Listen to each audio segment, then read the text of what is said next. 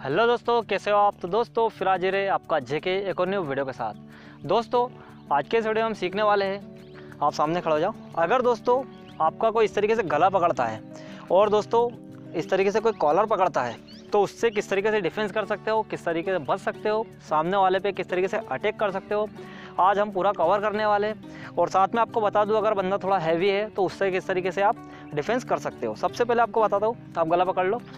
इस तरीके से गला पकड़ा है दोस्तों। अगर बंदा थोड़ा सा कमज़ोर है तो उसमें आप क्या कर सकते हो, देखिए, इस तरीके से पकड़ा है। आपको क्या करना है, ये दोनों हाथ ऊपर ले आना है।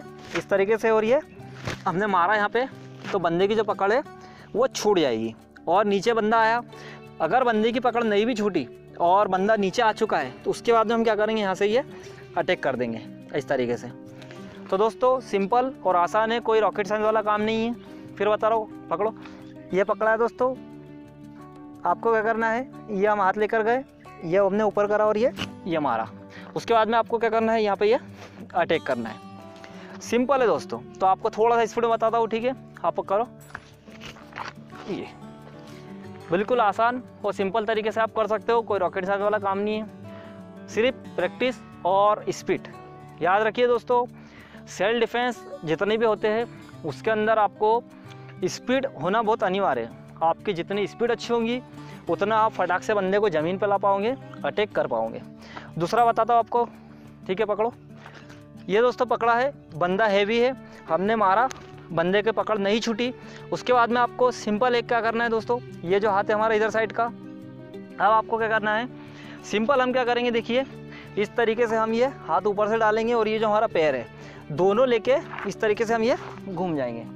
घूमने के बाद में दोस्तों क्या करना है आपको? ये जो हाथ है हमारा, इससे हम ये अटैक करेंगे फेस पे।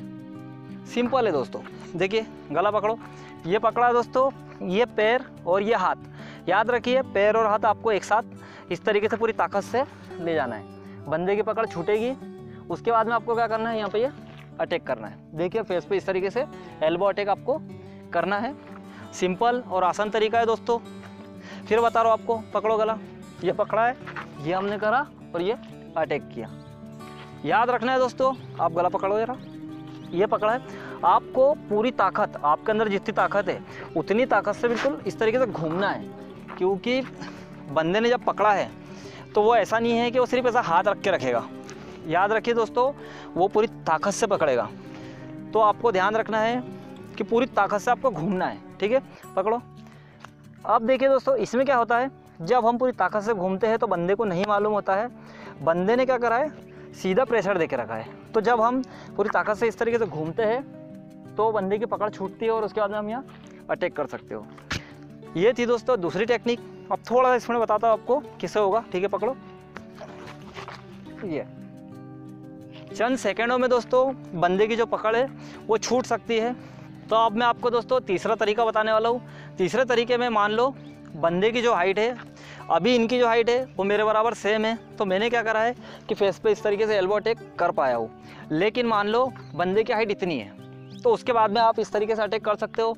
पॉसिबल नहीं है दोस्तों। तो उसके लिए आप क्या कर सकते हो और कितने आसानी से बच सकते हो, बता रहा हूँ, ठीक है?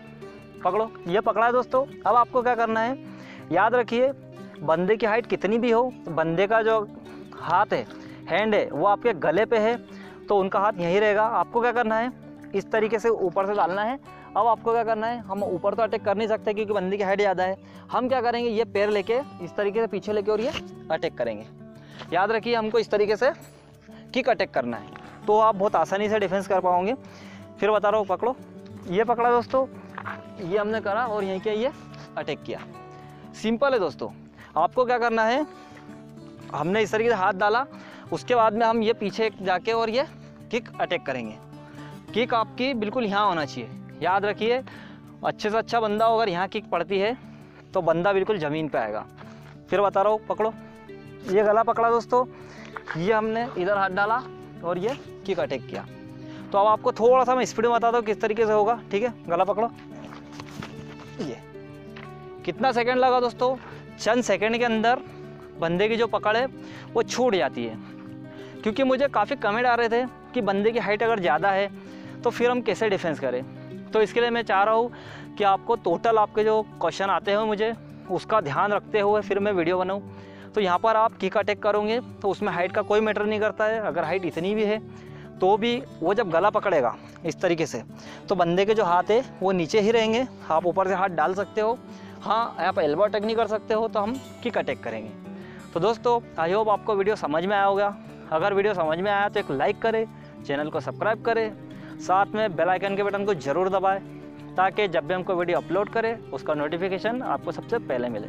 फिर मिलते हैं एक और वीडियो के साथ, एक और टॉपिक के साथ, तब तक के लिए बाय बाय